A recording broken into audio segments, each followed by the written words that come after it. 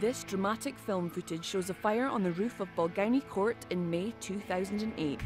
The thick black smoke is a result of roofing felt and tar involved in the fire. No one was injured and the fire posed little danger to the residents, although some people were evacuated by the fire service as a precaution. The main reason that this fire was unable to spread is that the multi story buildings are constructed with materials that actually help prevent the spread of fire and smoke. It is extremely unusual for a fire to spread beyond the area where it started.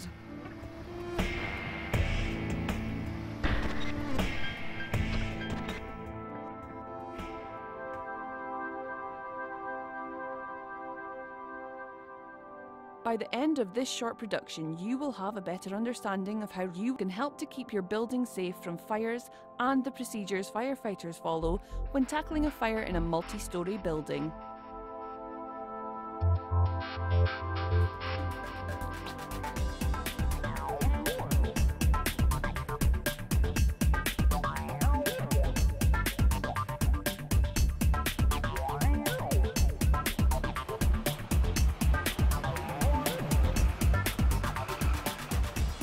When the fire service turn up to a fire in a multi-storey, there will usually be at least three fire appliances and possibly an ambulance. It is vital that residents keep the restricted parking areas clear because firefighters and equipment need to get into the building quickly. Additional delays could cost lives. One of the first jobs to be undertaken when firefighters arrive is to provide a water supply for fighting the fire. Water is pumped into an internal pipe called a dry riser, which can be connected to at the required floor. Once they enter the building, firefighters will secure the lift to get equipment and personnel to the scene of the fire. If you are escaping from a fire in your own flat, always close doors behind you and remember to take the protected staircase down to safety, as the lifts will not operate as normal. It is important to stress that you should only ever evacuate your home if the fire is in your flat. By closing doors behind you as you leave, you can prevent fire and smoke spreading and limit the damage to the rest of your home. Firefighters will connect the hose to an outlet valve which can be found on each floor. These valves are normally boxed in for protection, but if vandalised, it can stop firefighters getting any water. Residents should report any damaged valve boxes immediately to the council. If the fire is not within your home, stay inside and call the fire service on 999 and report the location of the fire if it is known.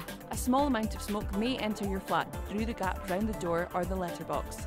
If this is happening, protect yourself by stuffing a cloth in the letterbox and putting tape over the gap between the door and the frame. Remain in your home where it will be safer. Firefighters will notify you once the fire has been extinguished.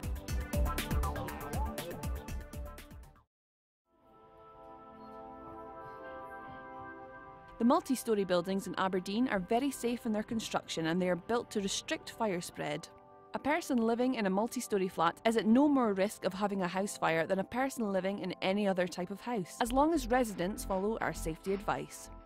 Advice notices like these will be located throughout your building, so please take time to read them. Regardless about how careful you are within your own home, deliberate fires are still a problem in some buildings. Residents can play a big part in reducing these incidents.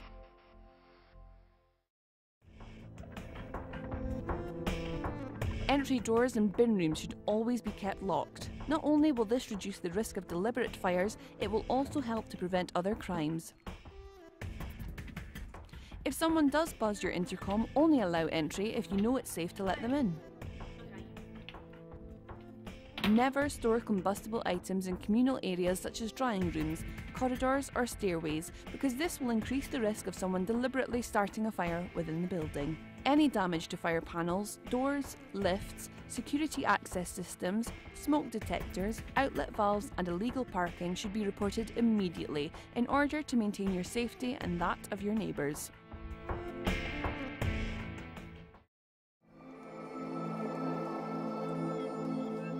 Make sure you have smoke detectors fitted within your home and that they work. If a fire breaks out in your flat, close the doors behind you and quickly get your family out, then phone the fire service. Always take the stairs. If the fire is not in your home, stay indoors with the front door closed and call the fire service. A small amount of smoke might enter through the gaps of the letterbox or around the door, so block these up. Always report damage or vandalism to the fixtures or fittings within your building. Never store combustible items in corridors, stairways, or drying rooms.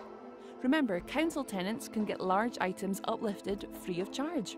For peace of mind and to improve the safety in your home, please contact the fire service on 01224 788 758 to book a free home fire safety visit. Multi stories are safe places to live, and with your help, we can keep them that way.